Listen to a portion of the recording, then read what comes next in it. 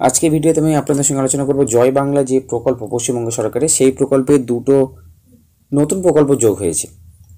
এবারে যে অর্থবর্ষে যে বাজেট অমিত মিত্র পেশ করেছিলেন, সেই বাজেটে দুটো নতুন প্রকল্পের কথা উঠে এসেছে। একটা হচ্ছে তফসিলি জাতিদের জন্য বন্ধু প্রকল্প এবং আর একটা তফসিল উপজাতি বন্ধুদের জন্য জয় জহর প্রকল্প। সেই দুটো প্রকল্প থেকে আপনারা কী সুবিধা পাবেন এবং কীভাবে পাবেন প্রত্যেকটা আমি আপনাদের সঙ্গে আজকে বিস্তারিত আলোচনা করব এবং অলরেডি এই দুটো প্রকল্পের সুবিধা নেওয়ার জন্য আবেদন প্রক্রিয়া শুরু হয়ে গিয়েছে এবং এই প্রক্রিয়াটা আপাতত অফলাইনে চলছে আর অনলাইনেও খুব শীঘ্রই এটা চালু হবে। এখন পর্যন্ত ওয়েবসাইটে মেনটেনেন্স চলছে যাতে অনলাইনে আবেদন প্রক্রিয়া শুরু করা যায়। তো বন্ধুরা, আজকে আপনাদেরকে জানাচ্ছি আমরা, প্রথমত আমি একটু জাস্ট হালকা করে দেখিয়ে দিই যে তফসিলি বন্ধুদের জন্য যে বন্ধু প্রকল্প আছে, সেই স্কিমের আন্ডারে আপনারা কী সুবিধা পাচ্ছেন? প্রত্যেকটার ক্ষেত্রে কিন্তু এটা পেনশন স্কিম যাদের বয়সটা ষাট বছরের বেশি হয়ে গিয়েছে দু হাজার কুড়ির পয়লা জানুয়ারি হিসাবে। যদি আপনার বয়স ষাট বছরের বেশি হয়ে থাকে, তাহলে কিন্তু আপনার এই স্কিম থেকে সাহায্য পাবেন। আপনি এসসি হলেও পাবেন। এসসি হলে সেটা হচ্ছে বন্ধু প্রকল্প এবং এসসিদের ক্ষেত্রে জয় জহর প্রকল্প। প্রত্যেকটা ক্ষেত্রে আপনারা এক হাজার টাকা করে পেনশন পাবেন যদি আপনারা অন্য কোনো পেনশন স্কিম থেকে সুবিধা না পেয়ে থাকেন। প্রত্যেকটা ক্ষেত্রে আপনারা এক হাজার টাকা নিশ্চিত সরকারি সাহায্য পেয়ে যাবেন মাসে মাসে। তো বন্ধুরা, এখানে আমরা প্রথমে দেখব যে কিছু শর্ত আছে এই দুটো প্রকল্পের জন্য। যেটা আমি বলছিলাম, ষাট বছর বয়স হতে হবে, সেটা পয়লা জানুয়ারি দু হাজার কুড়ি হিসাবে এবং পশ্চিমবঙ্গের স্থায়ী বাসিন্দা আপনাকে অবশ্যই হতে হবে। আর যদি অন্য কোনো প্রকল্প থেকে আপনারা সরকারি টাকা পেয়ে থাকেন, তাহলে কিন্তু এই প্রকল্প সুবিধা পাবেন না। এবারে বলব আপনারা আবেদনপত্রটা কোথায় পাবেন? যেহেতু ওটা অফলাইনে আপাতত ফিল আপ হচ্ছে। আমি ডেসক্রিপশনে একটা লিঙ্ক দিচ্ছি, একটা বাংলা ওয়েবসাইটের লিঙ্ক সেই লিঙ্কে আপনারা ক্লিক করতে পারেন। ক্লিক করলে আপনারা আবেদনপত্রটা ডাউনলোড করতে পারবেন। আর আপনারা, এছাড়াও আপনাদের বিডিও এসডি এবং কলকাতা মিউনিসিপ্যাল কর্পোরেশনের যে অফিস সেখানে গিয়েও আপনারা কিন্তু ফর্মটা পাবেন। জমা করতে হবে আপনাকে। আপনি যদি গ্রামাঞ্চলের বাসিন্দা বিডিও অফিসে শহরাঞ্চলে হলে এসটি অফিস এবং যদি আপনি কলকাতা মিউনিসিপ্যালিটি এরিয়ার হন, তাহলে আপনাকে কেএমসির অফিস থেকে অফিসে গিয়ে আপনাকে জমা করতে হবে। তো বন্ধুরা, এখন আমরা আবেদনপত্রটা যেটা ডাউনলোড করতে হবে, সেই আবেদনপত্রটা এক এক করে স্টেপ বাই স্টেপ আমি আপনাদেরকে কীভাবে ফিল আপ করতে হবে, সেই গাইডলাইনটা আপনাদের সামনে প্রেজেন্টেশন করছি। প্রথমত আপনারা দেখবেন ফর্মের উপরে লেখা আছে government of West Bengal Joy Bangla pension scheme application form এটাই আর এখানে একটা কথা মনে রাখবেন, যেটা স্টার মার্কস সেটা কিন্তু ম্যান্ডেটরি আপনাকে অবশ্যই ফিল আপ করতে হবে, নাহলে কিন্তু আপনি সুবিধা থেকে বঞ্চিত হতে পারেন।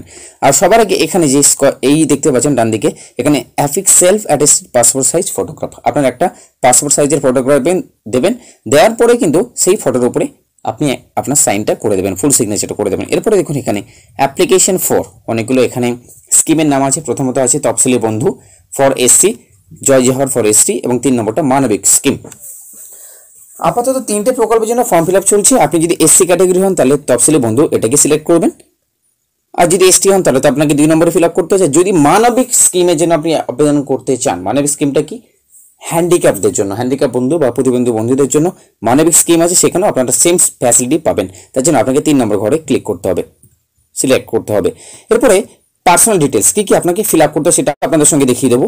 প্রথমে বেনিফিশিয়ারি নেম মানে উপভোক্তার নাম দিতে হবে। ফার্স্ট টাইম এই ঘরের মধ্যে আপনাকে ফার্স্ট নামটা ক্যাপিটাল লেটারে লিখবেন, তারপরে মিডল নাম এখানে আর লাস্ট নামটা এখানে। প্রত্যেকটা ক্ষেত্রে আপনারা ক্যাপিটাল লেটারই ব্যবহার করবেন। জেন্ডারটাকে আপনার মেল হলে এখানে টিক মার্ক দেবেন ফিমেল হলে এখানে আদার্স হলে এখানে আপনি টিক মার্ক দিচ্ছেন। ডেট অফ বার্থ আপনাকে ডেট অফ বার্থ এখানে দিতে হচ্ছে এবং আপনার বয়সটা পরে জানুয়ারি দু হাজার কুড়িতে কত সেটা আপনাকে এখানে সালটা এখানে লিখতে কত বছর হচ্ছে সেটা আপনার এখানে লিখবেন। এরপরে দেখবেন আবেদনকারীর বাবার নাম, মায়ের নামটা এখানে আপনাকে ফিল আপ করতে হবে। তারপরে আপনার কাস্ট এসসি হলে এখানে টিক দেবেন এসটি হলে এখানে টিক দেবেন।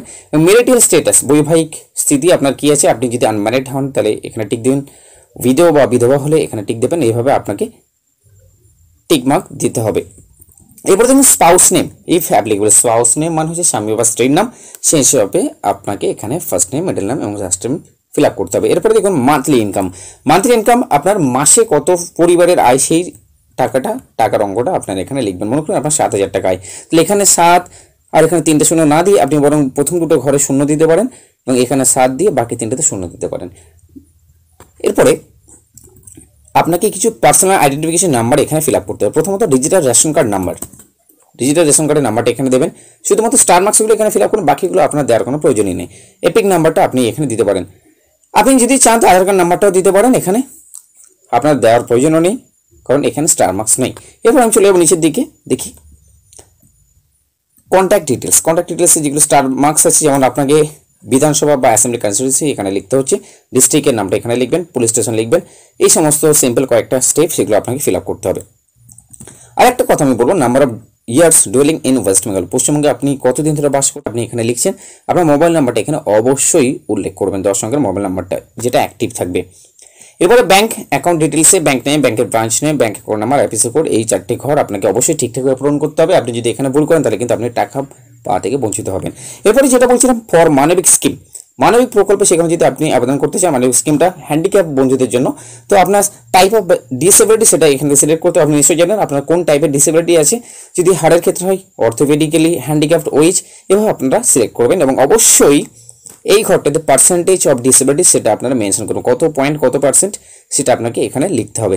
আর সার্টিফিকেশন অথরিটি বা সার্টিফিকেশন অথরিটি কারা ছিল সেটাও আপনাকে এখানে উল্লেখ করতে হবে।